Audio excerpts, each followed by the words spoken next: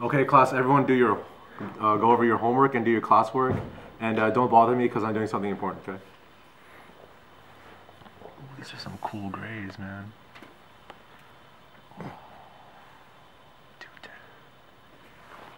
Mr. D, can you help me on this problem? Did I say not to bother me, Shane? Didn't I say not to bother you? I'm checking my horoscope. I want to know how good my day is going to be today. And you ask for help. I'm not obliged to help you. That's not my job. My job is to teach you, not to help you. So go back to check your homework, okay?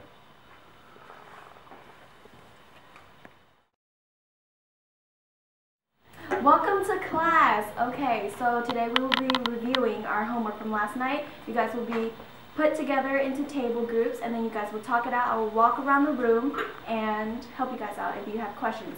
Also, remember that I will be in O Club today um, after school and I will put up my phone number, my email, so you guys have contact with me. Yes? Alright, let's work on the review. Yes, Shane? Can you help me on number nine? Yes, no problem. What do you need help on? I don't get why there's a point of inflection at x equals 3 and 5. So remember what points of inflection were? What, what, what is the meaning of point of inflection? There's, there's sign change, remember that? Okay, so what are the two sign changes we are working on right now? Negative and a positive. Okay, so repeat whatever what I said. Point of inflection is where the sign, change, where the sign changes from, negative and positive. Oh, perfect. That's perfect. There you go. When is the test? Oh, the test is next Thursday. Whenever you guys are ready, but I will determine the date. Okay. Okay?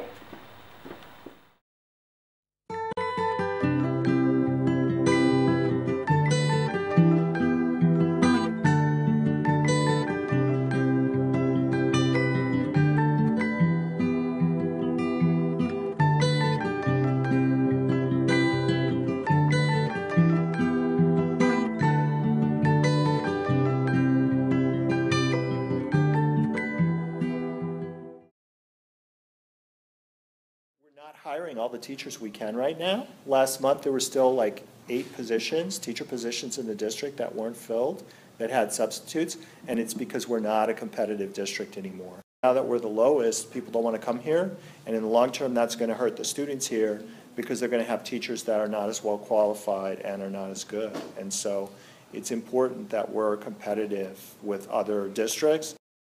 That's the most important, uh, we'll say dis- disappointing part of the negotiation so far, is the district not valuing teachers uh, by offering such a pittance of a salary increase.